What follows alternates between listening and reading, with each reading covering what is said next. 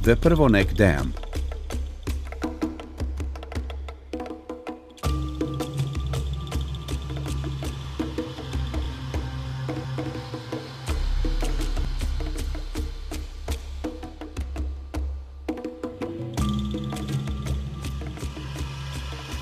The Prvonek Dam, 93 meters high, was the largest project of its kind in Serbia during the past decade.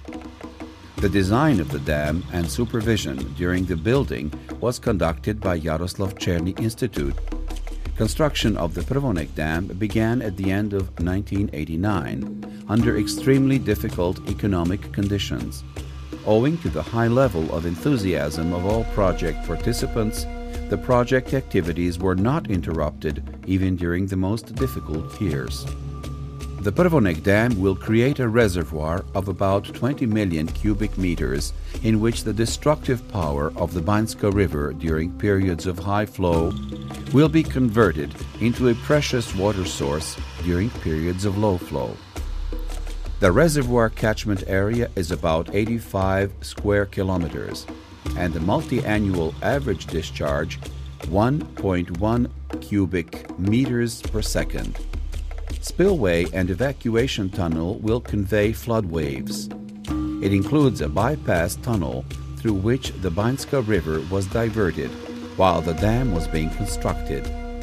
The spillway diameter at the crest is 26 meters and the diameter of the evacuation tunnel is 7 meters. This ensures a high level of safety of the Prvonek Dam and allows efficient evacuation of maximum probable flow of 865 cubic meters per second. The water intake tower will collect water for water supply and average about 550 liters per second. The water intake is comprised of six levels. Water will be collected at the level which provides the highest quality and most suitable temperature at a particular time.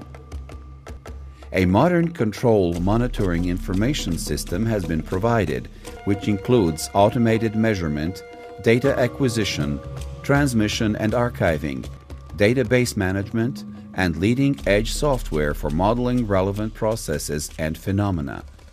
The system will ensure safe and efficient facility management and optimal use of resources through appropriate decision making under different operating conditions. Upon completion of the Prvonek Dam and initial charging of the reservoir, there will be a significant improvement in the currently poor water supply of Vranje. Over time, about 110,000 inhabitants will obtain their high quality water supply from this reservoir. The completion of the pipeline running from Vranje to Bujanovac will enable the transport of water from Prvonek Reservoir to the municipality of Bujanovac and the connection of users from the municipality of Preševo to the regional system.